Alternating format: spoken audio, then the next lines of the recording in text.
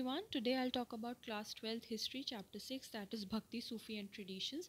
You have to watch this video till end क्योंकि मैंने इसमें मोस्ट इंपॉर्टेंट क्वेश्चन जो आपके बोर्ड्स में छः साल से रिपीट हो रहे हैं, वो मोस्ट इंपॉर्टेंट क्वेश्चन इस वीडियो में दिए हैं। और आगे जब आपके एग्ज़ाम्स आएँगे I'll be giving the most and most important question and making more and more important videos regarding to all the chapters of history so you have to stay tuned and stay connected with me in this channel and you have to subscribe this channel and don't forget to hit the subscribe button. So, let's begin.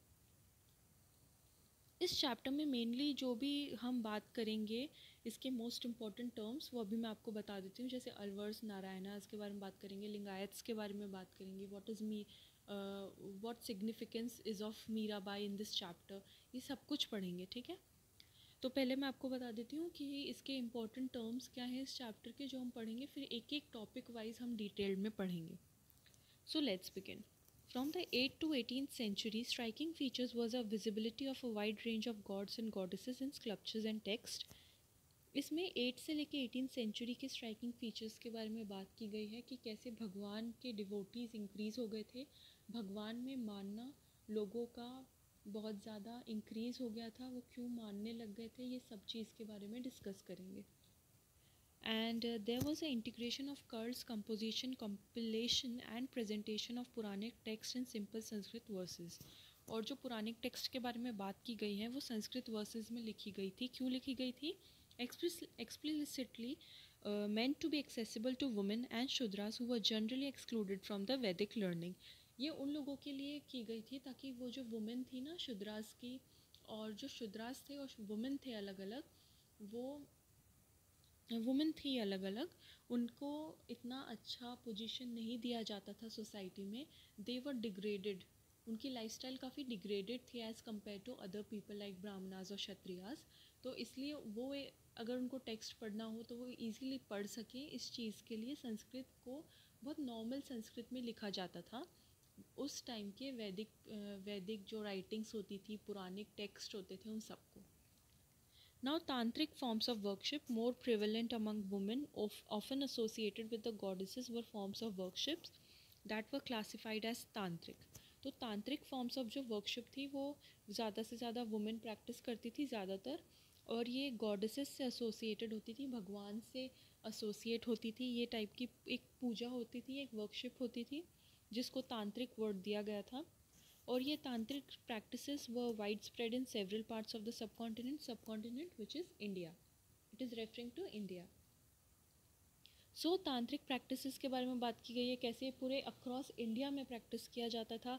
Then they were open to women and man both practitioners practitioners मतलब जो इस चीज़ को practice करते थे, जो इस चीज़ को रिलीजियसली फॉलो करते थे often ignore differences of caste and class within the ritual context Then bhakti traditions are classified into saguna with atheist and nirguna without attracting worship of abstract form.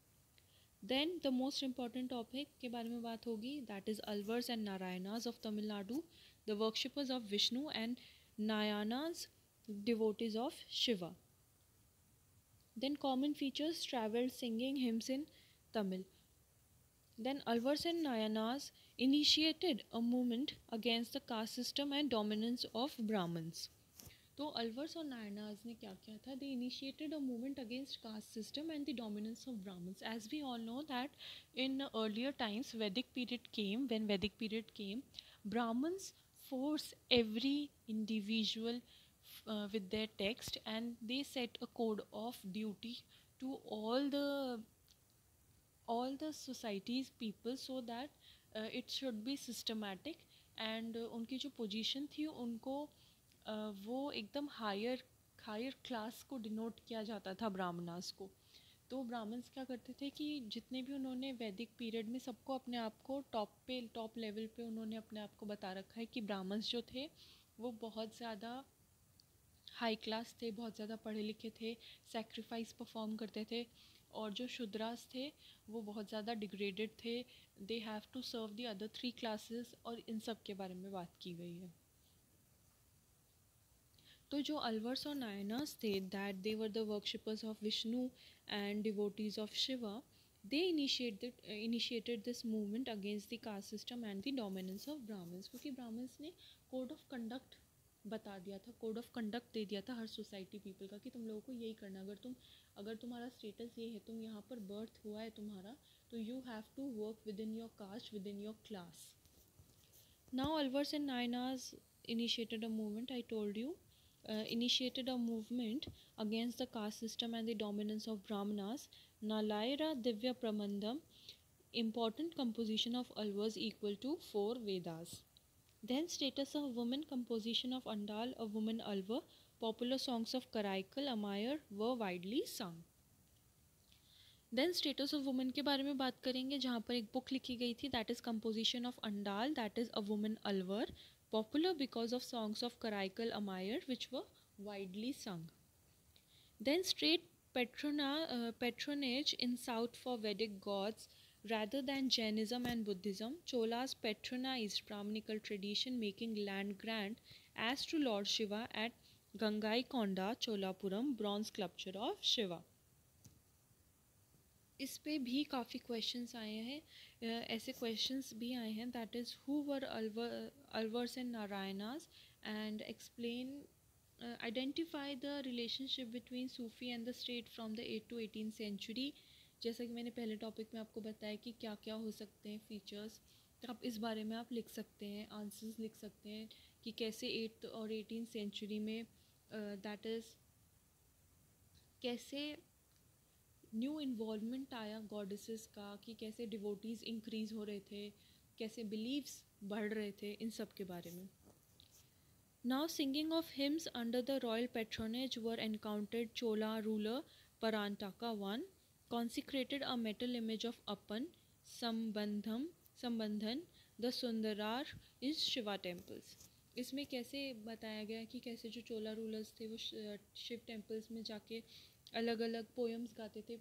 Hymns का मतलब होता है poems या फिर prayers बोल। लो ये सब गाय, गाया करते थे Chola ruler Parantaka one then Karnataka saw a new movement under Basavanna Brahman and court of Chalukyan ruler his followers Virashaivas heroes of Shiva and Lingayat wearers of linga Karnataka एक new movement की तरह emerge हुआ, जिसका नाम था बसावना अ ब्राह्मण court इन चालोकियन ruler इसके बारे में आगे बात करेंगे।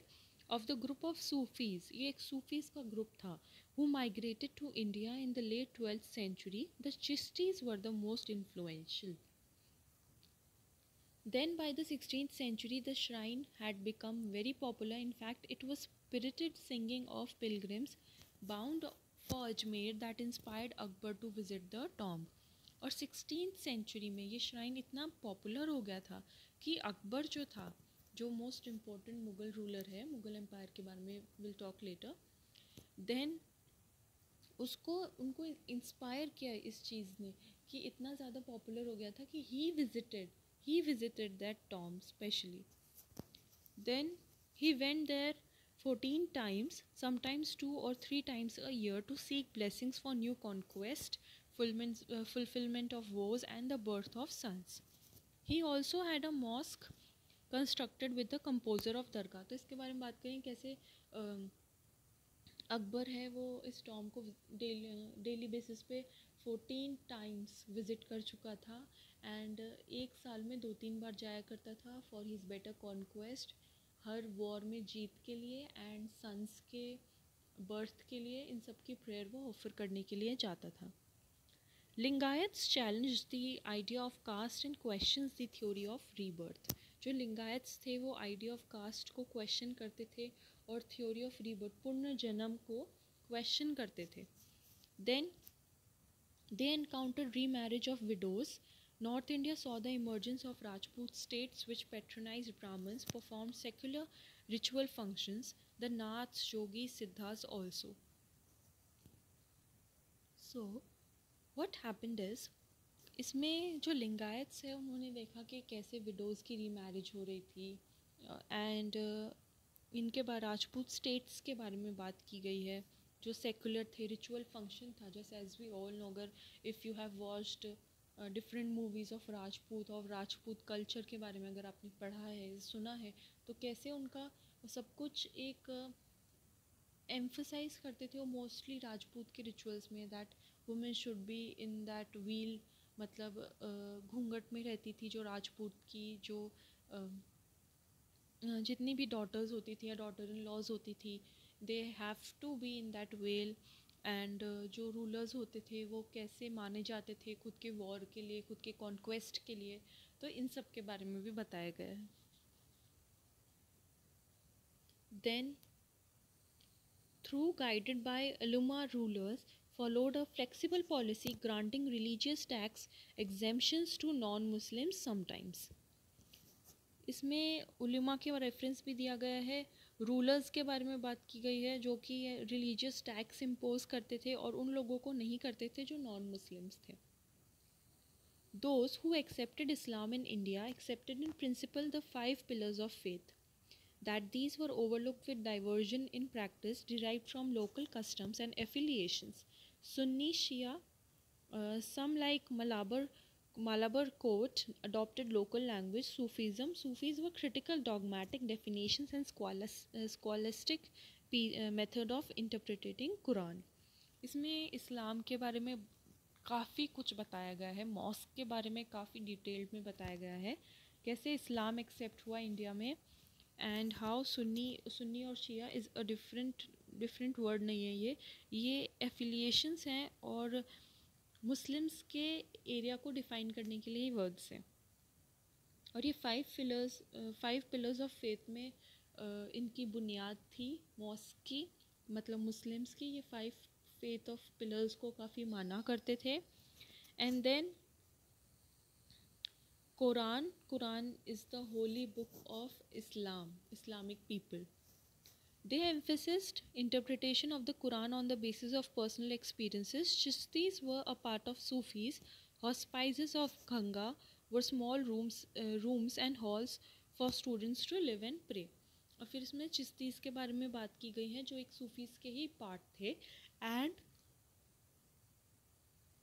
hospices of khanqah khanqah वो स्मॉल रूम्स एंड हॉल फिर एक हॉस्पाइजेज ऑफ़ खांगा थी they were small rooms in halls for students to live and pray pray करना ऐसे बोल सकते हैं कि pray to God pray to Islamic people जो उनकी प्रेयर होती थी वो हॉल में कंडक्ट की जाती थी जो स्टूडेंट्स के लिए होती थी then life in Chishti khanqah was like a life of a monastery and cater to all travellers rich और पुअर और ये चीज़ कोई डिवाइडेड नहीं थी सबको ही कर सकते थे travels of rich and poor then Shaikh Nizamuddin Chishti had many followers and the practice to, of visits to dargahs gained prominence in the 14th century. Shrines became very popular. और fourteen century में ये region काफ़ी ज़्यादा popular हो गया था। Also, music, dance, and mystical chants were performed to evoke divine ecstasy. And the Bhakti movement saw the emergence of poets, saints like Kabir, were poems written in form in which every meaning is inverted. Bhakti movement आया उसके बाद poets और saints थे जो कबीर की poems काफ़ी famous हुई तुलसीदास कबीर तुलसीदास नहीं कबीर के Kabir dohas as we all know Kabir Kabir is very famous for his works of Shakuntala and if you have read English literature तो उसमें कुछ कुछ पोएम्स हैं कबीर की, जो काफ़ी फ़ेमस थी। क्योंकि उन्होंने काफ़ी कुछ बताया है रिलीजियस फॉर्म्स के बारे में गॉडेसेस के बारे में, अपनी पोएम्स में डिपिक्ट किया है सिचुएशंस को। ठीक है? रियल लाइफ सिचुएशंस को भी। The message of Baba Guru Nanak is spelled out in his hymns and teaching the message of Baba Guru Nanak is spelled out in his hymns and teaching hymns का मतलब जैसा मैंने पहले बताया prayers होता है। पोएम्स भी बोल सकते हैं और प्रेयर्स भी बोल सकते हैं। This suggest that he advocated a form of nirguna bhakti. इनकी टीचिंग्स निर्गुणा भक्ति को डिवोट करती हैं। Then Guru Nanak's hymns in the Adi Granth Sahib called Gurbani are compose in various languages and Mirabai fifteen to sixteen century में popular हुए थे। And if you have read your fifth और six Hindi notebooks इसमें अच्छे से मीराबाई की कुछ कुछ स्टोरीज़ हैं जो विष्णु के बारे में बताई गई हैं कि कैसे she was the best known women poet within the bhakti traditions as she was the devotee of avatar of Vishnu that is Krishna and then she defied her husband and did not submit to the traditional role of wife and mother instead of recognizing Krishna, the avatar of Vishnu, as per lover. Then historians draw on a variety of sources to reconstruct histories and uh, uh, histories of religious traditions. Then virtually all these religious traditions continue to flourish to date. Then a mosaic of religious beliefs and practices. In this I would say that कि मैंने आपको video के starting में ही बता दिया था कि अब जो इम्पोर्टेंट टॉपिक्स आएँगे इम्पोर्टेंट टर्म्स आएँगे, उनको मैं डिटेल्ड में इस वीडियो में बताऊँगी। और अब यहाँ से उन टॉपिक्स के बारे में बात होगी जो आपके क्वेश्चंस जिनसे बनेंगे, जो आपको याद करने ही करने हैं। क्योंकि ये टॉपिक्स ऐसे हैं जो आपको कहीं और अगर मिल भी जाएँगे तो भी आपको डिफ्रेंसीशन निकालने में प्रॉब्लम होगी। तो मैंने इसमें अच्छे से आपको मूवमेंट वगैरह इस्लाम क्या है सूफ़ी मूवमेंट क्या है इनके रोल्स क्या हैं सब कुछ मैंने इसमें बताया है आपको। एंड हिस्टोरियंस uh, क्या बिलीव करते थे इसमें? मीराबाई के बारे में डिटेल्ड में इस वीडियो में बताया गया है तो उससे भी रिलेटेड मैं आपको बताऊँगी। Now the bhakti movement Islam and Sufi movement play an important role in the history of medieval India during the 8th and 18th century. जो ये भक्ति मूवमेंट था, इसमें इस्लाम और सूफ़ी ने बहुत ज़्यादा इम्पोर्टेंट रोल प्ले किया। कैसे प्ले किया? क्योंकि बहुत ज़्यादा डिवोटीज़ इंक्रीज़ हो रहे थे, भगवान के टूवर्ड्स आस्था बढ़ रही थी। लोग ऐसा मानते थे कि जो भी कुछ हो रहा है, वो एक स्ट्रॉन्ग एटर्नल एक्सटर्नल पावर कर रहा है and they are helping small town peoples and different class of people to attain their occupation, to attain their beliefs in gods. तो इसके बारे में मेनली बात की गई है भक्ति ट्रेडिशंस में।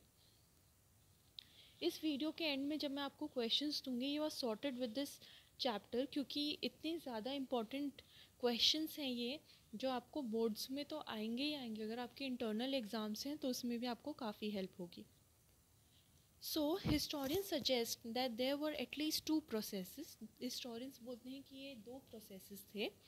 One was a process of disseminating Brahmanical ideas this evident through the composition and compilation and preservation of Puranic text in simple Sanskrit verse explicitly meant to be accessible to women and Shudras who were generally excluded from Vedic learning इसमें क्या बताया गया है?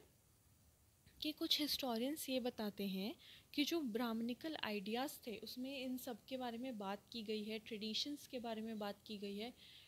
सूफ़ी traditions को काफ़ी ज़्यादा enforce किया गया है। कैसे? Uh, this is evident through the composition and compilation and preservation of Puranic text in simple words and explicitly meant to be accessible to women and Shudras. As I told you in the beginning कि कैसे women और Shudras को degraded किया जाता था उनकी lifestyle काफ़ी degraded थी उनको ज़्यादा opportunities और status नहीं दिया जाता था society में तो उनके लिए ब्राह्मण्स ने जब भी text लिखे तो बहुत ज़्यादा simple संस्कृत वर्ड्स में लिखे गए पुरानिक टेक्स्ट को ताकि वो भी पढ़ पाए और इनको ब्राह्मण्स ने ब्राह्मण्स ने जो टेक्स्ट लिखे थे, वो अपने कल्चर के बारे में लिखी थी। और जो उनका कल्चर था, वो चीज़ वुमेन और शुद्राज, ये दो थे who were excluded from learning these types of culture ताकि वो उनकी तरह ना बन जाए। इसलिए वो एक्सक्लूडेड थे और इस चीज़ को सिंपल करने के लिए सिंपल टेक्स्ट में लिखी गई थी, पुरानी टेक्स्ट ताकि वुमेन और शुद्राज इनके बारे में पढ़ सकें। ब्राह्मण्स ने नहीं लिखी थी। उनके लिए Then the second process was that of Brahmanas accepting the reworking and the beliefs and practices of these and other social categories. फिर जो सेकेंड प्रोसेस थे ब्राह्मण्स के वो था उनका एक्सेप्ट करना reworking the beliefs and practices of these and social categories in fact many beliefs and practices were reshaped through a continuous dialogue between great Sanskrit Puranic traditions and the little traditions through the throughout the land. Second process था ब्राह्मणास के ऊपर जो accept करते थे beliefs उन beliefs को rework करते थे उनकी प्रैक्टिसेस को अपनाते थे। अदर सोशल कैटेगरीज में वर्क करते थे उनके मानना था रीशेप करना था कि जितने भी ग्रेट संस्कृत पुरानिक टेक्स्ट थे लिटिल ट्रेडिशंस थे वो सब कुछ कैसे मोल्डेड थे सोसाइटी के अंदर ही सब कुछ ब्राह्मण से रिलेटेड था क्योंकि वो सबसे ज़्यादा हाई क्लास सोसाइटी को डिनोट करते थे। Then instances of integration are evident amongst the goddesses' cults for example, uh, worship of the goddesses often simply in the form of stone smeared with ochre, ochre uh, was evidently widespread. इसमें क्या बताया गया है कि कैसे goddesses की जो worship थी वो स्टोन के थ्रू होती थी जो स्टोन को आकार दिया जाता था कार्व्ड uh, किया जाता था गॉडेसेस के फॉर्म में उनकी पूजा होती थी उस टाइम पे then often associated with goddesses were forms of worship that were classified as tantric तो जितने भी गॉडेसेस थे, वो फॉर्म्स थी तांत्रिक की। तांत्रिक प्रैक्टिसेस वो widespread in several parts of the subcontinent that is India and they were open to women and men and practitioners often ignore difference differences of caste and class within the ritual context many of these ideas influence Shaivism as well as Buddhism especially in eastern and the north and southern parts of the subcontinent इसमें तांत्रिक practices के बारे में जो बताया गया कि wide स्प्रेडली बहुत ज़्यादा प्रैक्टिस की जाती थी। मैन और वुमेन दोनों करते थे। पहले के टॉपिक में मैंने आपको ये बताया कि वुमेन ज़्यादा एम्फिसिस करती थी, पर इसमें अब बताया गया कि मैन और वुमेन का दोनों का होल्ड था इसमें, पर ज़्यादा से ज़्यादा वुमेन ही प्रैक्टिस किया करती थी। और इसके जो आइडियाज़ थे, वो किससे इन्फ्लुएंस थे? शेविज़म और बुद्धिज़्म से इन्फ्लुएंस थे। इस कहाँ पर ईस्टर्न और eastern northern and southern northern parts of the subcontinent that is India the divergence in the most stark if compare to Vedic and Puranic traditions और इनका बीच का जो ये डाइवर्जेंस था, ये गैप था, वही एक इंपॉर्टेंट मेजर डिफरेंस है पुरानिक टेक्स पुरानिक ट्रेडिशंस और वैदिक पीरियड का। then the principal deities of the vedic pantheon that is agni indra and soma uh, become marginal figures. और uh, प्रिंसिपल डीटीज जो थे वैदिक पीरियड के वो थे Agni Indra and Soma and become marginal figures rather there were glimpses of Vishnu Shiva and the goddesses of Vedic mantras had a little in common with elaborate Puranic mythologies इसके साथ साथ विष्णु शिवा के भी काफ़ी वैदिक मंत्राज थे uh, जो पुराने और पुरान में लिखी गई हैं माइथोलॉजीज़ में इनका वर्णन किया गया है। Then in spite of these obvious discrepancies the Vedas continue to be revered in authoritative और वेदास में जितनी भी चीज़ें इन सब के बारे में एम्फोसिस किया गया है वैदिक पीरियड को वेदास को बहुत ज़्यादा पावरफुल माना गया है और अथॉरिटेटिव माना गया है। क्यों? क्योंकि ये सब कुछ जो भी लिखा गया है, हमें पता कैसे चला? लिखने पे पता चला। पढ़ने पे पता चला और ये सब कैसे पता चला? ब्राह्मण्स ने जो भी अपनी टीचिंग से लिखा, उससे हमें पता चला। Then there were some conflicts as well as those who valued the Vedic tradition of often condemn practice that went beyond the closely regulated contact with the divine through the performance of sacrifice और precisely chanted mantras इसमें बताया गया है कि कैसे conflict जो थे, लड़ाइयाँ जो थी और वैदिक ट्रेडिशन था, वो ये प्रैक्टिसेस को कंडेम करता था। क्यों? क्योंकि ये जो प्रैक्टिस होती थी, जैसे सेक्रीफाइजेस सेक्रीफाइस करना किसी एनिमल को, किसी ह्यूमन बीइंग को इन टर्म्स ऑफ़ वर्कशिप तो इस चीज़ को वैदिक पीरियड में काफ़ी ज़्यादा नकारा गया था, नहीं माना गया था। Uh, Vedic tradition often condemned the practices that went beyond the closely regulated contact with the divine through the performance of sacrifices or precisely chanted mantras. Those engaged in tantric practices frequently ignored the authority of Veda. जैसे कि आपको अगर आप इस तांत्रिक word को देखोगे तो आपको इतना नॉलेज है कि आप जो टीवीज़ में भी देखते हैं मूवीज़ में भी देखते हैं, तांत्रिक में बताया, क्या बताया जाता है कि सैक्रिफाइस करना, किसी ह्यूमन को सैक्रिफाइस करना या किसी एनिमल को सैक्रिफाइस करना क्यों? क्योंकि किसी वर्कशिप को, किसी डीटी को किसी वर्क किसी स्टैचू को या फिर किसी डिवोटी को जब खुश करना होता है तो व्हाट दे डू वो सेक्रीफाइस करते हैं किसी ह्यूमन को या एनिमल को या सॉर्ट ऑफ़ फ्रूट्स और वेजिटेबल्स इन सब का वो सेक्रीफाइस करते हैं। उनको भोग लगाया जाता है। क्यों लगाया जाता है? क्यों? क्योंकि वो अपना अपना सेल्फ सेटिस्फैक्शन के लिए या फिर खुद की चीज़, खुद की प्रेयर को एक्सेप्ट कराने के लिए। तो इस चीज़ को काफ़ी एम्फोसिस किया जाता है तांत्रिक में, तांत्रिक फॉर्म ऑफ़ वर्कशिप में। Whereas in in this Vedic tradition में ये अपोज किया गया था सेक्रीफाइसेस को। इसमें सिर्फ़ था कि मंत्रास को चैंट करेंगे मंत्रास के बारे में बोलेंगे मंत्रास को चैंट करेंगे अच्छे से। और तांत्रिक में ऐसा नहीं था। तांत्रिक में सैक्रिफाइस का मेन मुद्दा है सैक्रिफाइस को मेनली देखा गया है तांत्रिक में। Devotees often tended to protect the chosen deity इधर विष्णु और शिवा एज सुप्रीम और जो डिवोटीज थे, वो प्रोटेक्ट करना चाहते थे अपनी चूजन डीटी को, जो कौन कौन थे? एक तो विष्णु जी पे ज़्यादा वो था एम्फोसिस था एंड देन शिवा पे था। And then relations with other traditions such as Buddhism और जैनिज़्म वो also often fraught with tension if not open conflict और इसमें बताया गया है कि कैसे रिलेशंस था इनका और बुद्धिज़्म और जैनिज़्म, ये भी एक टेंशन था। ये एक ओपन कॉन्फ्लिक्ट की तरह तो नहीं आया, पर इनके भी अलग अलग डिवोटीज़ में बट गए थे। जैसे हर चीज़ अलग अलग चीज़ों में बट गई थी। शिवा के अलग डिवोटीज़ थे, विष्णु के अलग डिवोटीज़ थे, बुद्धिज़्म को मानने वाले अदर क्लास ऑफ़ पीपल आ गए थे, जैनिज़्म के अदर ग्रुप ऑफ़ पीपल आ गए थे। तो सब कुछ काफ़ी डिवाइडेड और डिस्टॉर्टेड था। सब कोई अपना अपना क्लास लेकर चलना चाहते थे, अपना अपना कल्चर फॉलो करना चाहते थे। सबकी अलग अलग भक्ति ट्रेडिशन सब आने लग गया था। The singing and chanting of devotional compositions वो often a part of such modes of worship this वो particularly true of the Vaishnava and the Shaiva sect इसमें क्या बताया गया है कि जो सिंगिंग और चैंटिंग ऑफ़ डिवोशनल कंपोजिशन है डिवोशनल पोएम्स है ये एक मोड्स ऑफ़ वर्कशिप है. This was particularly true of the Vaishnava and Shaiva sect ये जो बार बार मंत्र को चैंट करना, भगवान को मंत्र सुनाना या उनके बारे में बोलना, उनके मंत्र को बार बार चैंट करना फेस्टिवल्स में गाना, ये सब कुछ क्या था? ये एक डिवोशन था अपने डिवोटी के प्रति.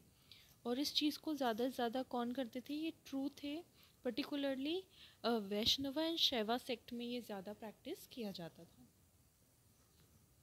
Now the bhakti traditions the early bhakti tradition evolve and was characterise by remarkable diversity it accommodated and acknowledge women and lower caste who are considered ineligible within orthodox Brahmanical framework where Brahmans remained important intermediaries between gods and devotees in several forms of bhakti bhakti traditions में Brahmins का बहुत ज़्यादा emphasis था। Brahmins अपने आप को superior समझते थे अपर क्लास समझते थे एज आई टोल्ड बिफोर और इन्होंने वुमेन और वुमेन को और बाकी लोअर कास्ट को इन एलिजिबल कहा था। ऑर्थोडॉक्स ब्राह्मणिकल फ्रेमवर्क के अंदर ज़्यादा मेन काम जो होता था, अगर कोई पूजा का रिलेटेड काम होता था तो परफॉर्म सेक्रीफाइस और एवरीथिंग या कुछ भी ऐसा important work related to worship ये सब कुछ डिनाइड था लोअर कास्ट को और वुमेन को। Because of Brahmans then historians of religions often classify bhakti traditions into two broad categories that is saguna with attributes and nirguna without attributes then Alvars some of the earliest bhakti movements six century were led by Alvars कुछ early bhakti movement जो को लेकर आए थे six century में, उनका नाम था Alvars literally those who were immersed in devotion to Vishnu Alvars कौन थे? जो विष्णु को डिवोट करते थे डिवोटी थे विष्णु के। और नायानास इनका मतलब था literally leaders who were devotees of Shiva Alvar मान लो अलवराज मान लो मीन्स विष्णु और नयानाज मीन मान लो Shiva and they travelled from place to place singing hymns singing prayers in Tamil in praise of their gods. The Alwars and Nayanas initiated a movement of protest against the caste system and the dominance of Brahmanas or attempted to reform the system. इस topic को आपको detail में मैं इसलिए समझा रही हूँ अलवर्स और नाइनाज के बारे में क्योंकि most of the two mark question six mark question eight mark question हमेशा इस टॉपिक से आता ही है तो आपको अच्छे से समझना है Alvars denote Vishnu's devotees and Nayanars devote Shiva's devotee. Then they initiated a movement against caste system as I told you before और dominance of Brahmins के ऊपर ने इन्होंने आवाज़ उठाई थी Then their compositions were as important as the Vedas. The one of the most anthologies of composition of the Alvars and Nalayas is Divya Prabhamandham, uh, which was frequently described as the Tamil Veda. Thus, claiming that the text was as significant as the four Vedas in the Sanskrit that was cherished by the Brahmanas. और इन्होंने अपने इस work को उतना ही powerful और important माना है जैसे ब्राह्मण्स ने माना था अपने फोर वेदास को। ठीक है? Then women's participation could be widely seen through the presence of women devotees like Andal a women Alvar who saw herself as the beloved of Vishnu इसमें वुमेन्स का भी पार्टिसिपेशन था फीमेल्स uh, का भी participation था और वो कैसे पता चलता है? जो डिवोटीज थी अलवर में अलवर्स का अगर डिनोटी माने वुमेन तो वो कौन थी? Andal. Who saw herself as the beloved of Vishnu her verses beloved का मतलब होता है सॉर्ट ऑफ़ डिवोटी मान लो या फिर लवर मान लो lover of Vishnu and her verses expresses her love for the deity Karaikal Ammaiyar was a devotee of Shiva. Who adopted the path of extreme asceticism in order to attain her goal Alvar में तो ये माना गया है, अलवर्स की जो main devotee थी female that is Andal who was beloved of Vishnu और जो नायनाज हैं, जो विष्णु शिवा के डिवोटीज थे, उनमें वुमेन कौन थी? कराइकल अमायर जो बहुत एक्सट्रीम डिवोटी थी शिवा की. Their very existence and their compositions pose a challenge to patriarchal norms और ये जो दो वुमेन के नाम हैं, ये आपको याद कर लेने, क्योंकि इसके बारे में बहुत इंपॉर्टेंट क्वेश्चन आ सकता है टू मार्क क्वेश्चन में, कि name the women of Alvars and Nayanars who devotees of Vishnu and Shiva और इनके रोल्स क्या थे, इन्होंने कैसे क्या किया था, ये भी आपको करना है। As Alvars who saw herself as beloved of Vishnu and her verses expresses her love for the deity and whereas in Karaikal Ammaiyar was devotee of Shiva who adopted a path of extreme asceticism to, in order to attain her goal. Now, from the second half of the first millennium, there is evidence of states, including those of the Pallavas and the Pandyas. 6th to 19th century, Buddhism and Jainism had been prevalent in this region, received occasional royal patronage. So, you can see कि कैसे इस chapter में कैसे भक्ति traditions के बारे में बात हो रही है वुमेन के रोल के बारे में बात हो रही सेक्रीफाइसेस तांत्रिक पूजा कैसे भगवान को कितना इम्पोर्टेंट माना गया है इस चैप्टर में कैसे कैसे उनका एम्फेसिस आया कैसे स्मॉल टाउन पीपल तांत्रिक पूजा में आने लग गए मैन एंड वुमेन बोथ कैसे वेदास में ब्राह्मण्स ने रो, रोल सेट किए हैं कोड ऑफ़ कंडक्ट स्टार्ट किया है this chapter is very important जो हमारे पर्टिकुलर हिस्ट्री में पूजा हिस्ट्री के बारे में बताया गया कैसे वर्कशिप हुआ करती थी पुराने टाइम पे, विष्णु और शिवा उस टाइम से सिक्स टू सेवन सेंचुरी में। इस सेंचुरी में आप देख लो और उस सिक्स सेंचुरी में आप देख लो कितने डिवोटीज़ थे उस टाइम पे और कितनी बुक्स लिखी गई, संस्कृत टेक्स्ट के बारे में लिखा गया और सिंपल लैंग्वेजेस में भी लिखा गया ताकि वो कॉमन क्लास पीपल को भी प्रोवाइड हो सके। Now one of the major themes in Tamil bhakti hymns is the poets opposition to Buddhism and Jainism the reason behind this hostility was the competition between the members of other religious traditions for royal patronage और royal position को लेने के लिए भी इनके बीच में काफ़ी competition चलता रहता था बुद्धिज़्म जैनिज़्म वैदिक इन सब के बारे में। Then rulers tried to win the support of Nayanas and Alvars. The Chola kings often attempted to claim divine support and proclaim their own power and status by building splendid temples that were adorned with stone and metal sculptures to recreate the visions of popular saints who sang in the language of the people. तो इसमें क्या बताया गया है चोला Kings के बारे में भी बताया गया है कि attempted to claim divine support and uh, उनको उन्होंने ऐसे बताया कि हमारे ऊपर डिवाइन सपोर्ट है, भगवान का सपोर्ट है। और अपना पावर और स्टेटस काफ़ी इन्होंने बिल्ड कर लिया था इस चीज़ के वजह से। They have in this status by building splendid temples they were adorned with stone and metals sculptures to recreate the vision of this popular saint who sang in the language of people इसमें बताया गया है कैसे चोला rulers अपने आप को भगवान का बच्चा मानते थे और बोलते थे कि है ना, इन भगवान ने हमें भेजा है to serve you people and to make you realise the existence of God तो इस चीज़ की वजह से उन्होंने काफ़ी टेम्पल्स बनाए थे मेटल स्कल्पचर्स से एनग्रेव्ड किया था स्टोन से, किसको? डिवोटीज़ को गॉड्स को। ठीक है?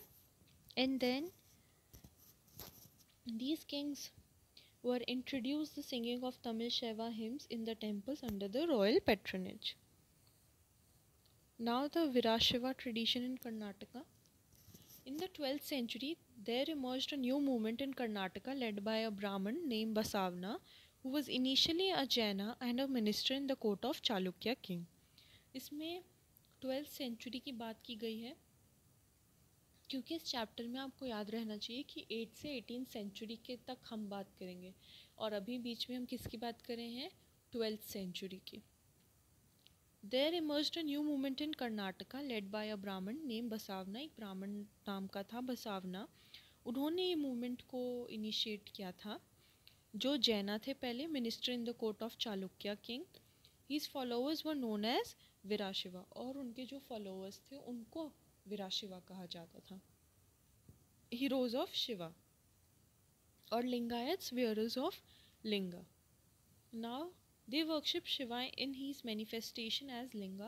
Shiva is also denoted as Linga, as you all know कि लिंगा से डिनोट किया जाता है शिव जी को शिव को। If you have read other text और अगर डे टू डे लाइफ में भी आपने सुना हो तो एक लिंग कहा जाता है शिव जी को। तो इसलिए इसमें डिनोट किया गया है as a linga and man usually wear a small linga in a silver case on a loop strung over the left shoulder और इसमें बताया गया है कैसे they worship in the Shiva in the manifestation as a linga and man usually wear a small linga in a silver case on a loop strung over the left shoulder then Lingayats believe that on death the devotee will be united with Shiva and will not return to this world.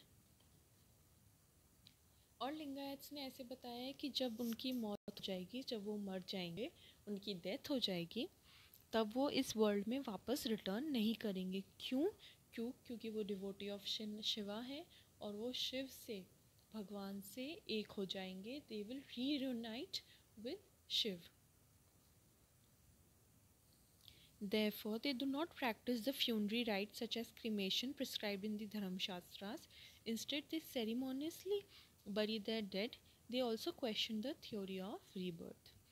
और इसी वजह से devotee of Shiva जो थे वो क्या करते थे लिंगायत्स क्या करते थे इनका मेजर रोल है लिंगायत्स का इस पर क्वेश्चन भी आ सकता है तो you have to be very apt reading this क्योंकि आपको अच्छे से याद करना है लिंगायत्स का क्या रोल था वो अब कैसे बरी करते थे उनका क्या मानना था रीबर्थ के बारे में और मरने के बाद वो कैसे क्रिमेट करते थे इन सब के बारे में आपको पता होना चाहिए।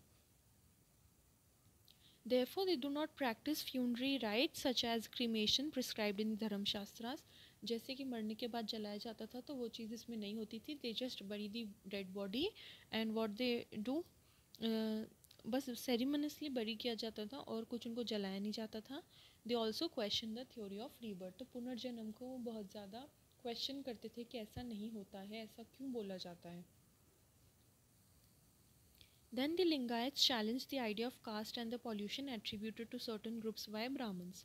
और जो लिंगायत्स थे, वो आइडिया ऑफ़ कास्ट को काफ़ी चैलेंज करते थे pollution attributed to certain groups of Brahmans and the Lingayats also encourage the certain practice अब डिसअप्रूव बाय द धर्मशास्त्रास और जिस चीज़ को धर्मशास्त्रास में डिसअप्रूव किया गया है मना किया गया है उस चीज़ को एनकरेज करते थे कौन? लिंगायत्स मतलब हर चीज़ उल्टा करते थे।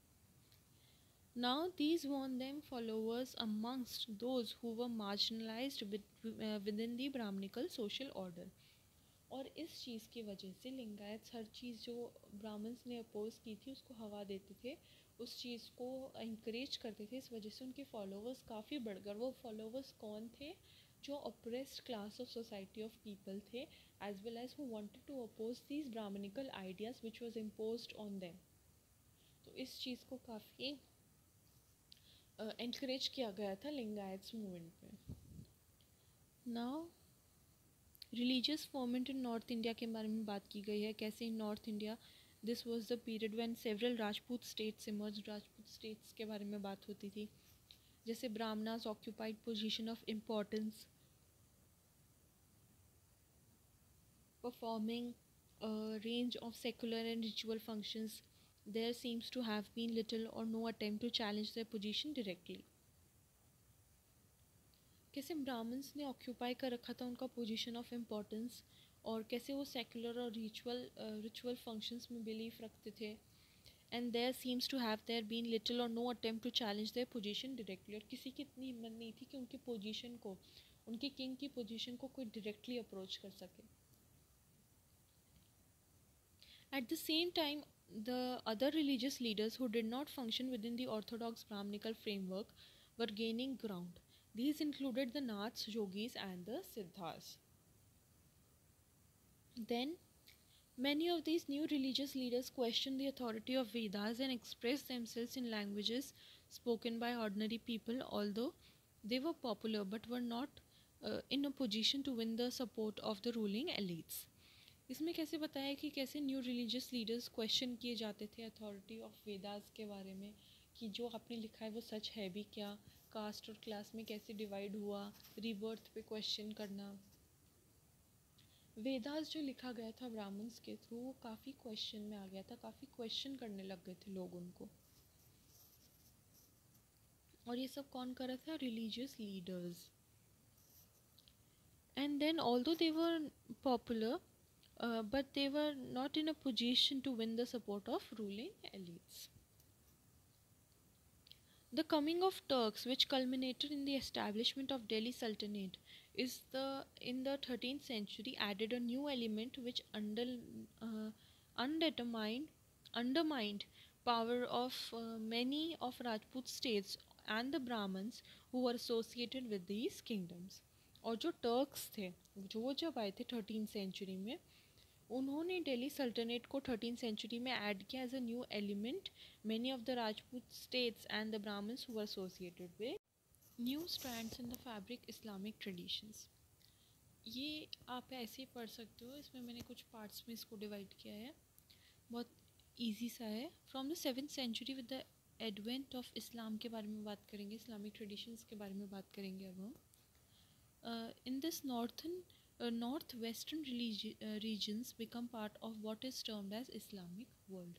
North western region जितने भी थे, वो इस्लामिक वर्ल्ड में उसको इस्लामिक वर्ल्ड डिनोट किया गया था। Now Arab merchants frequented ports along the western coast of the first millennium C E central Asian people people settled in the north western parts of the subcontinent during the same period Arab merchants जो थे, उन्होंने अपने ports बना लिए थे। Western coast में वो ज़्यादा रहते थे और central Asian people were settled in north western people and denoted as Islamic people Then in 711, an Arab general named Muhammad Qasim conquered Sindh, which became part of the Kafils domain. Who who conquered? Who was the Arab general? Muhammad Qasim conquered Sindh.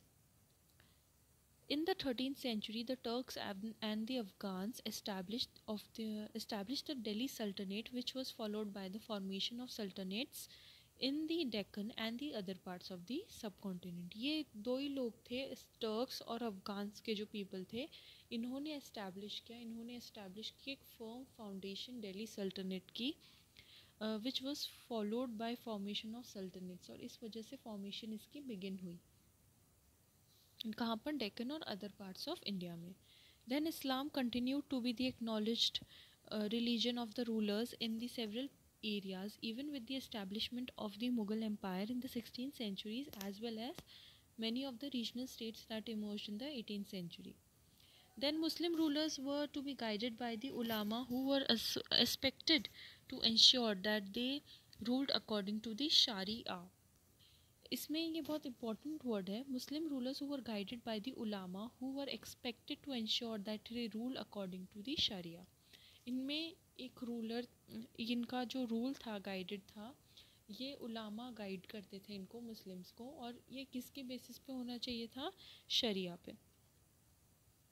Then rulers often adopted a fairly flexible policy towards their subjects several rulers gave land to endowments and granted tax exemptions to Hindu Jaina Zoroastrian Christian and Jewish religious institution and also express respect and devotion towards non religious non Muslim religious leaders. These grants were made by several Mughal rulers, including Akbar and Aurangzeb.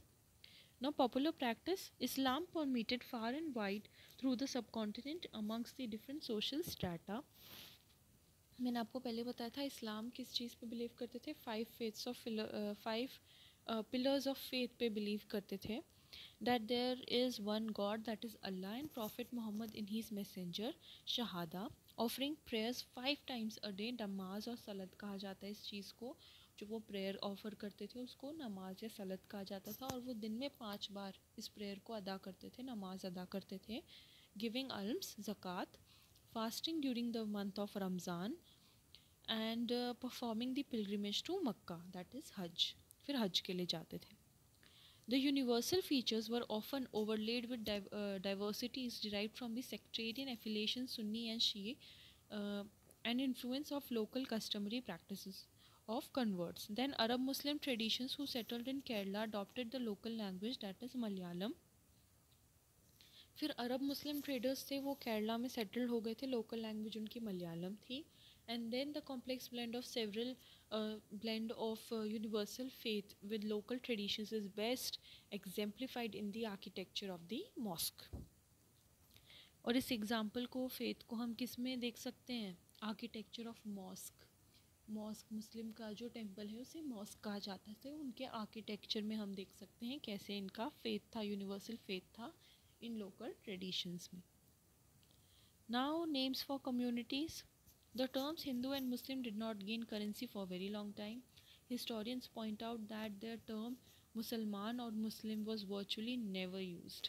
लिखित में return में कभी भी मुसलमान और मुस्लिम नहीं लिखा गया था people were occasionally identified in terms of the region from which they came उनका किस बेसिस पे उनका रिकग्निशन होता था उनका जो रीजन था उनके बेसिस पे पीपल का रिकग्निशन होता था the Turkish rulers were designated as Turuksha. Tajika, were people from Tajikistan and Parashika, were people from Persia. तो इस बेसिस पे इनका होता था कि अगर ये टर्क का है तो ये तुरुक्षा होगा, अगर पर्शिया है तो पराशिका होगा पर्शिया होगा पर्शिया से आए हैं ये लोग, इस बारे में ऐसे डिनोट होते थे, ये मुसलमान, मुस्लिम इस चीज़ों से डिनोट नहीं होते थे रिटर्न फॉर्म में then sometimes terms use for other peoples were applied to new migrants कुछ टाइम पे जो अदर पीपल थे, जैसे टर्क्स थे अफगान्स थे, वो किस चीज़ से रेफर्ड होते थे? शाकाज और यावानाज से। ये एक टर्म है use for Greeks then a more general term for these migrant communities were mleccha indicating that they did not observe the norms of caste society and spoke languages that were not derived from the Sanskrit. You have, if you have read your earlier chapter of history, I have given detailed explanation about Milachas, what were they, how they lived their life.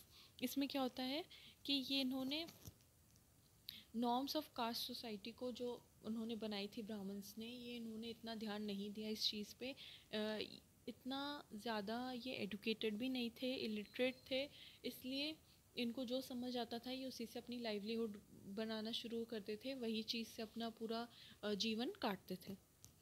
और ये migrant थे other community को इनको denote किया जाता था। किससे another community denote किया? ब्राह्मण्स ने।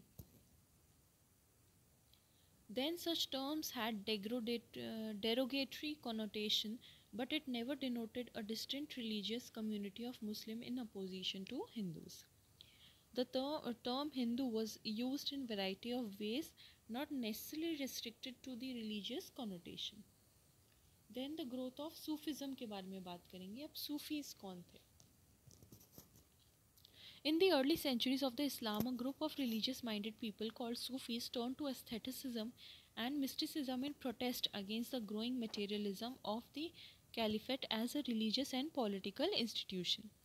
इसमें जो इस्लाम का एक ग्रुप था उसको रिलीजियस पीपल को सूफीज़ कहा जाता था वो प्रेयर्स ऑफ़र करते थे हिम्स ऑफ़र करते थे गॉड को सूफिज़म उसी वर्ड से सूफिज़म आया है।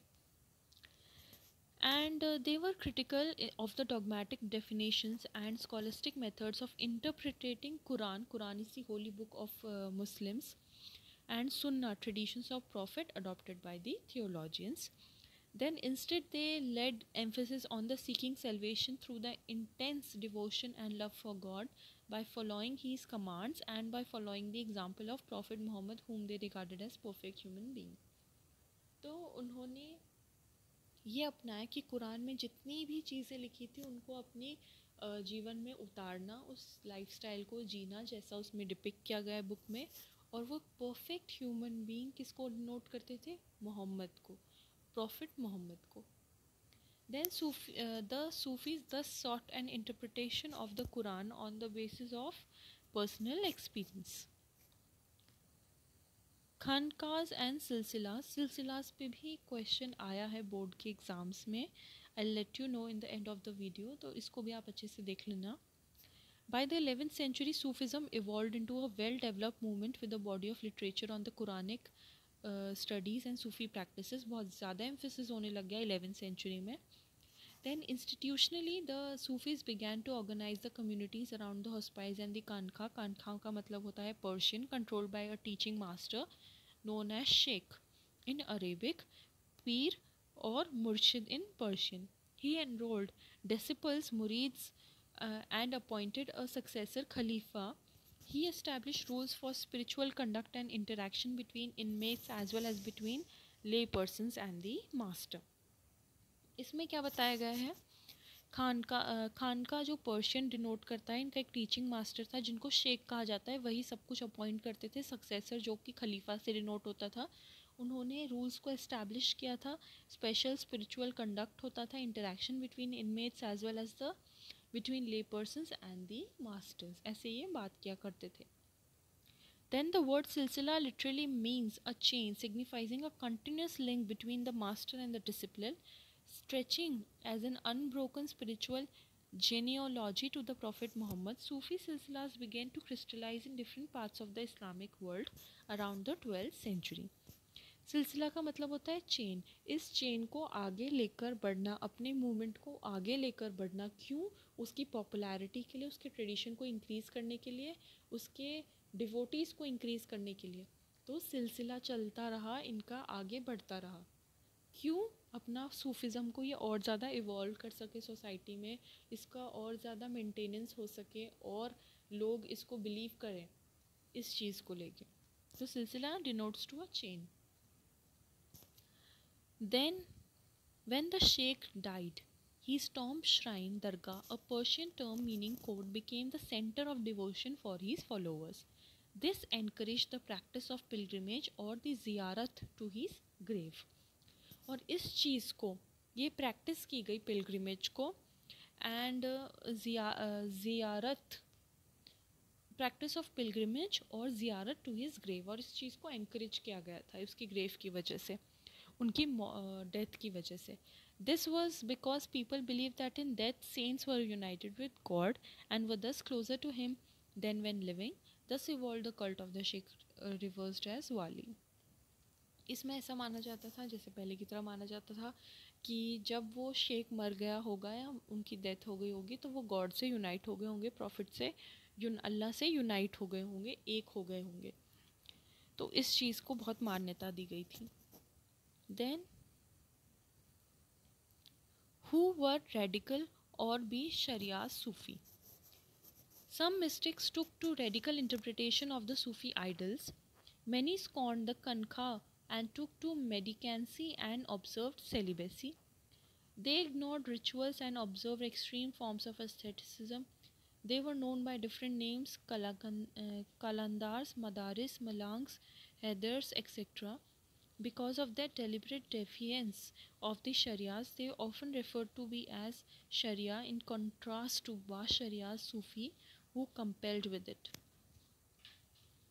तो इसमें मिस्टिक्स का रेडिकल इंटरप्रिटेशन है सूफ़ी आइडल्स के बारे में बताया गया है और वो कैसे कुछ रिचुअल्स को इग्नोर करते थे कुछ को ऑब्ज़र्व एक्सट्रीम एस्थेटिसिज्म को डिनोट करते थे they were known by different names qalandars madaris malangs and haidaris etcetera ठीक है? नाउ नेक्स्ट ये आप सिंपल रीडिंग मार लोगे and you are done with it now the Chishtis in the subcontinent of the सब of the groups of the Sufis who migrated to India in the late twelfth century and the Chishtis were the most influential Chishtis जब आया, इसको काफ़ी ज़्यादा influence मिला, इसको काफ़ी ज़्यादा रिकग्निशन मिला उस टाइम पे. And it was influential also Chishti khanqah khanqah was the centre of the social life and a well-known example in the Sheikh Nizamuddin's hospice of the 14th century on the banks of the river Yamuna in Gyaspur. on the outskirts of what was then the city of Delhi. Now Chishti khanqah को क्या बोला जाता है कि it was as a centre of social life it was well known example of sheikh Nizamuddin hospice of fourteen century where on the banks of river of Yamuna ठीक है the inmates included the family members of the sheikh his attendants and disciples the sheikh lived in a small room on a roof of the hall where he met visitors in the morning and evening. इसमें बताया गया कैसे शेख एक small room में थे। उनका एक रूफ होता था हॉल में। वहाँ पे वो अपने विजिटर्स में मिलते थे। विजिटर्स को मिलते थे मॉर्निंग और इवनिंग में। On one occasion fearing a Mongol invasion people from the neighbouring areas flocked into khanqah to seek refuge और एक टाइम क्या हुआ कि इन मंगोल ने इन्वेजन किया, उन्होंने हमला किया कुछ पीपल पे जो उनके नेबरिंग एरियाज़ में थे तो सब के सब कनखा आ गए टू सीक रेफ्यूज उनके अंडर आ गए क्यों? खुद को बचाने के लिए. There was an open kitchen एक ओपन किचन होता था जिसको लंगर कहा जाता था run on futuh asked for charity Then visitors from morning till late night, people from all walks of life visited there. Then Hindu jogis, yogis, and kalakandas came seeking discipleship and amulets for healing and intercession of the sheikh in various matters. Other visitors included poets such as Amir Hassan Sizi, Amir Khusrau, and the court of historian Ziauddin uh, Barani, all of whom wrote about the sheikh. कुछ कुछ important terms है और कुछ कुछ बहुत difficult terms है जो आपको याद नहीं होंगे। आपको बस इतना याद होना चाहिए कि कैसे उनका किचन का सिस्टम था, कैसे उनका हाउस था जहाँ पे वो मिलते थे लोगों से। फिर एक क्या ओकेजन हुआ जिसकी वजह से सारे के सारे लोग उनका रिफ्यूज लेने के लिए आ गए थे? उनका टीचिंग कैसे इतनी ज़्यादा इनक्रेज हुई? डिवोटीज़ कैसे उनके इतने ज़्यादा बढ़ गए? तो इस बारे में आपको याद करना है। उनके विजिटर्स कौन कौन थे? छोटा मोटा याद कर लेना। Then Chishtis devotionalism ziyarat and qawwali Pilgrimage called ziyarat to tombs of Sufi saints is prevalent all over the Muslim world. This practice is an occasion for seeking the Sufis' spiritual grace, barakat, बरकत इसमें क्या बताया गया है चिश्ती के डिवोशनलिज्म के बारे में बताया गया है कि कैसे चिश्तीज जो थे उनका मेन मोटिव यही था कि वो कवाली वगैरह करें और उनके पिलग्रिमेज को ज़ियारत कहा जाता था जो उनके टॉम्स थे उनको सूफ़ी सेंट्स थे वो सूफ़ी सेंट्स के टॉम्स में सब था and prevalent all over the Muslim world और यह अक्रॉस वर्ल्ड में है जो भी मुस्लिम कंट्रीज़ में है। This practice is an occasion for the seeking of Sufi spiritual grace और बराकत। और इस चीज़ को क्या ये एक स्पिरिचुअल ग्रेस है बराकत बरकत बोला जाएगा इसको uh, अल्लाह की बरकत को पाने के लिए ऐसे कुछ है। and uh, people express their devotion at the dargahs of the five great Chishti saints and uh, for more than seven centuries मतलब सेवन सेंचुरी से ये सब चला आ रहा था people were going there to have their blessings of them ठीक है now by the sixteen century the shrine had become very popular. In fact, it was spirited singing of pilgrims bound for Ajmer that inspired Akbar to visit the tomb. Now क्या होता था कि जो sixteen century में the shrine had become very popular और sixteen century में बहुत ज़्यादा पॉपुलर हो गई। uh, एक मिनट में एक पॉइंट मिस कर रही हूँ and that is the most revered shrine of these is that of the Khwaja Muinuddin Chishti as we all know ये हमने पढ़ा भी है। Of the 14th century, popularly known as गरीब नवाज़ comforter of the poor. इसमें इस चीज़ को काफ़ी एम्फिसिस किया गया था ख्वाजा मुयुद्दीन, जो फोर्टीन सेंचुरी में आया था। इसमें गरीब नवाज़ कहा जाता था। इसका मतलब होता था कि वो पुअर की मदद करेंगे comforter of the poor it is evidently popular because of the austerity and the piety of the Sheikh the greatness of the spiritual successes and the patronage of the royal visitors. Now, by the 6th century, the shrine had become very popular. In fact, it was spirited singing of pilgrims bound for Ajmer that inspired Akbar to visit the tomb. और इतना ज़्यादा popular था as I told you before कि अकबर जो थे वो fourteen times आए थे अजमेर और ये अजमेर में है ये tomb and it's very famous Also, part of ziyarat is the use of music and dance, including mystical chants performed by specially trained musicians and qawwals to evoke divine ecstasy. Now, the Sufis remember God either by reciting the zikr, the divine names, or evoking His presence through sama, literally audition, or the performance of mystical music. The sama was integral of the Chistis and exemplified interaction with indigenous devotional traditions. Now, languages and communication. The Chishtis मतलब चिस्तीज़ कैसे बात करते थे उस बारे में बात करेंगे the Chishtis adopted local languages in daily those associated with the Chishti silsila conversed in Hindavi the language of the people other Sufis such as Baba Farid composed verses in the local language which was incorporated in the Guru Granth Sahib जो other सूफ़ी थे, बाबा फरीद, उन्होंने काफ़ी verses local language में लिखी थी, जो गुरु ग्रंथ साहिब में लिखी गई है। And some compose long poems और मसनावीज to express ideas of divine love using human love as an allegory for example the premakhyan love story Padmavat compose by Malik Muhammad Jayasi revolve around the romance of Padmini and Ratan Sen the king of Chittor. Their trials were symbolic of the soul's journey to the divine. Such poetic compositions were often recited in hospices uh, usually during summer. Now, a different genre of Sufi poetry was composed in and around town of Bijapur and Karnataka. Uh, these were short stories in Dhakni, uh, a variant of Urdu attributed to Chisti Sufis who lived in this region during the 17th and 18th century. For simple English, if you read this, you'll get to know everything.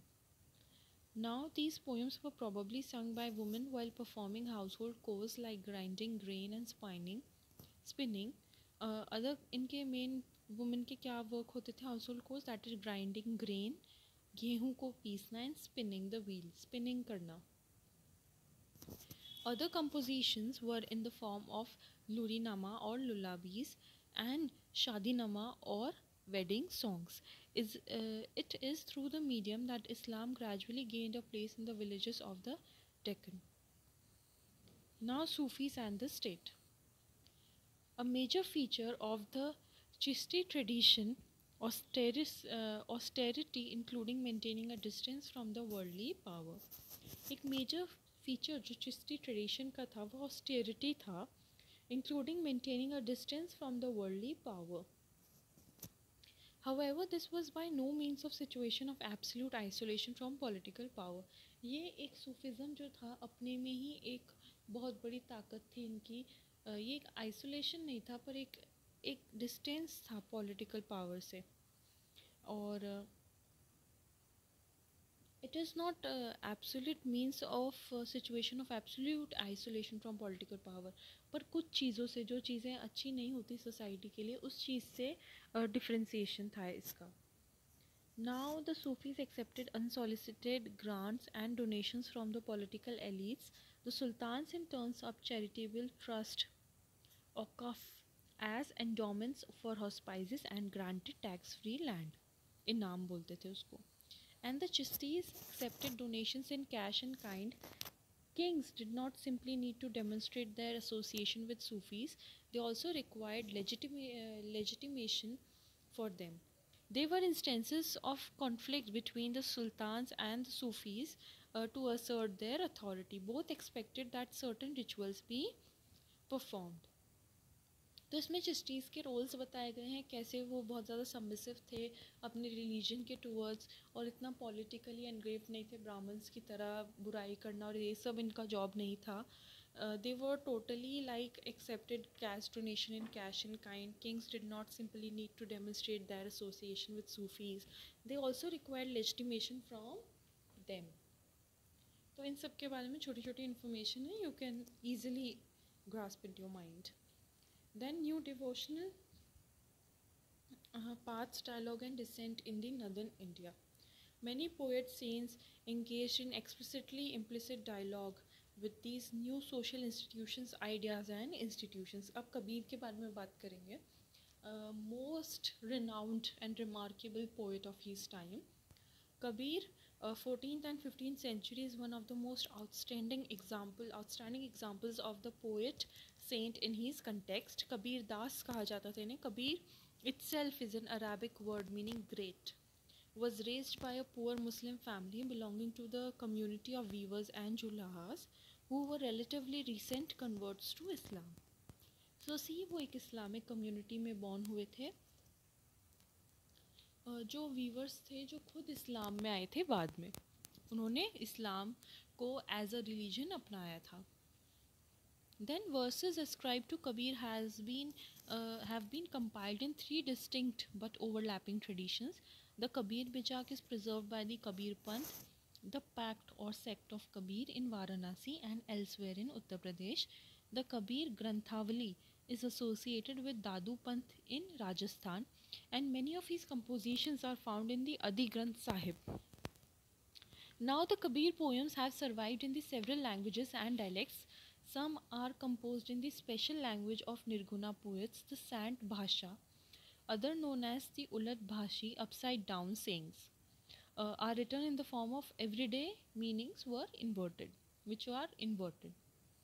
Now the range of traditions of Kabir drew on to describe the ultimate reality including Allah, Khuda, Hazrat and Peer. Ultimate reality इनकी अल्लाह थी खुदा थी हजरत थी और पीर थी Then he also use terms drawn from Vedantic traditions alakh the unseen nirakar formless Brahman atman etcetera Diverse and sometimes conflicting ideas are expressed in these poems. Some poems draw on the Islamic ideas, use monotheism and iconoclasm to attack Hindu polytheism and idol worship. Hindus को काफ़ी criticise करते थे उस बारे में बात की गई है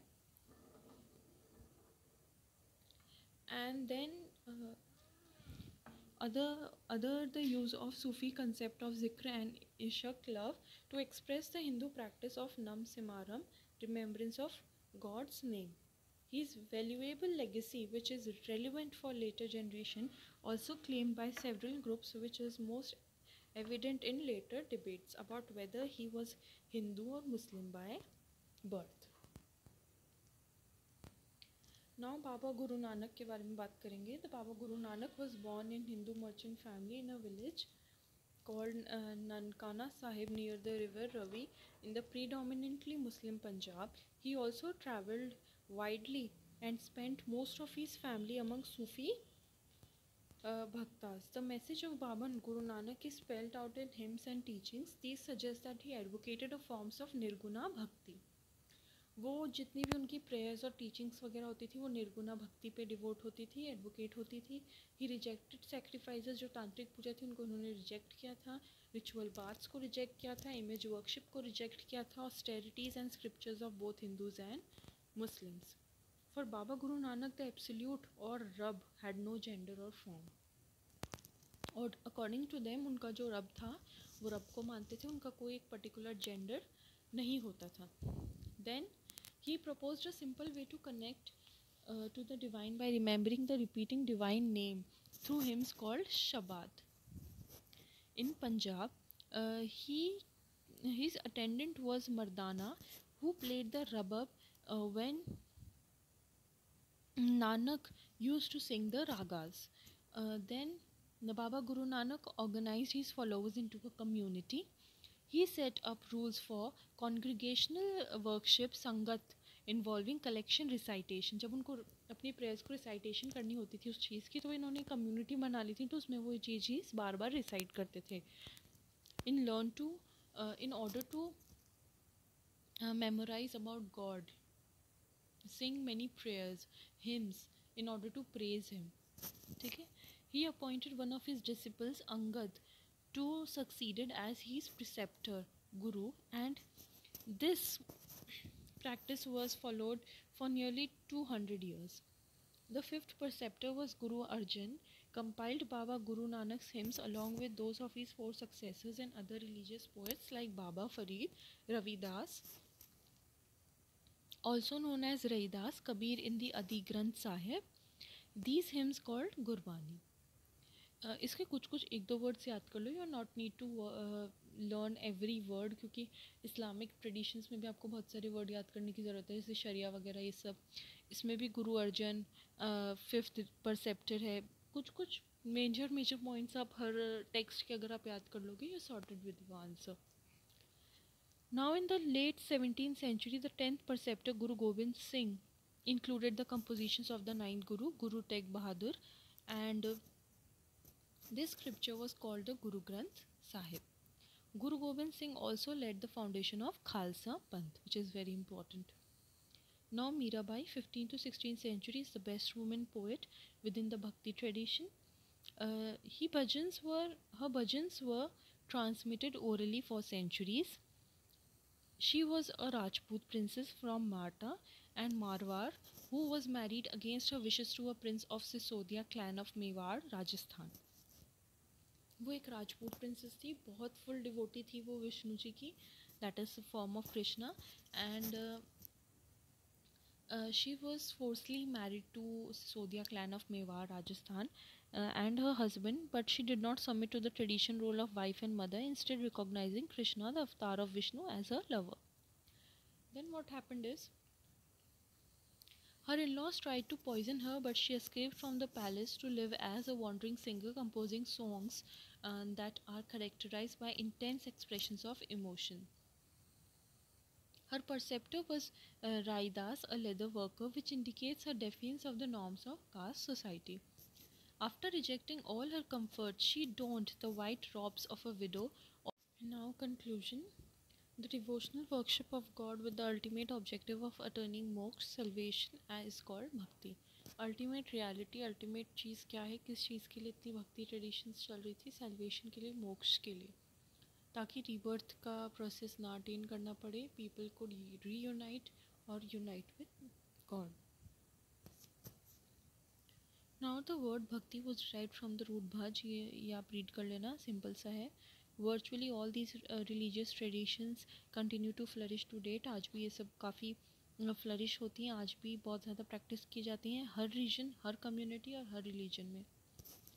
This continuity has certain advantages for historians as it allows them to compare contemporary practice with other described in textual traditions और shown in old paintings to trace changes now video का सबसे important topic that is important questions जो आपके board exams में आए।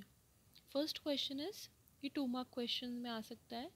Point out one similarity and dissimilarity between Lingayats and Nayanars ये दिल्ली का दिल्ली में आया था 2016 का क्वेश्चन है. ठीक है? सिमिलैरिटी तो आप ऐसे बोल सकते हो both protested against caste system and the dominance of Brahmins मैंने आपको ये हर चीज़ इस टॉपिक में, इस वीडियो में समझाया था. आपका ऐसा कुछ नहीं है जो मैं क्वेश्चन दे रही हूँ, आपको समझ नहीं आया, ये पूछिए कहाँ से बोल रही है या कहाँ से आए क्वेश्चन ठीक है? सिमिलैरिटी ऐसे मान लो कि Alvars were devotees of Vishnu and Nayanars were devotees of Shiva ये डिसिमिलैरिटी थी और सिमिलैरिटी थी थी both protested against caste system and the dominance of Brahmins तो ये फ़र्स्ट क्वेश्चन हो गया. सेकेंड क्वेश्चन भी टू मार्क्स वाले में मान लो. Who were Alvars and Nayanars mention the support they got from the Chola rulers तो ऐसे बोल सकते हो in the form of land grants से उसको सपोर्ट करते थे for the construction of splendid temples with stone and metals तो इस चीज़ के बारे में आप लिख सकते हो। देन मीनिंग ऑफ़ सूफी सिलसिला इस पर भी सिक्स मार्क्स क्वेश्चन आ सकता है ये तो ये भी आप लिख लो। It began to flourish in different parts of the Islamic world around the twelfth century ये सेंचुरीज आप लिख देना। मैंने इसमें अपने नोट्स में लिखा है कि कौन सी सेंचुरी में क्या चीज़ आई थी।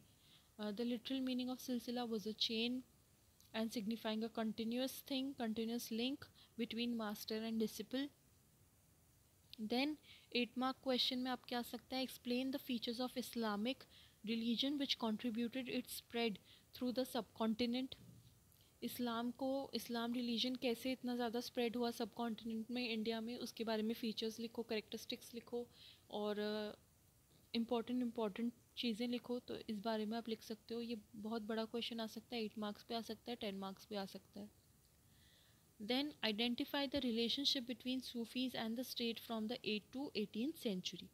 ये भी मैंने आपको बताया गया, बताया हुआ है इस वीडियो में। ईजीली आप लिख सकते हो, मीरा बाई पे क्वेश्चन आ सकता है देन गुरु नानक की टीचिंग्स पे आ सकता है। छोला रूलर्स का मैंने आपको बता ही दिया।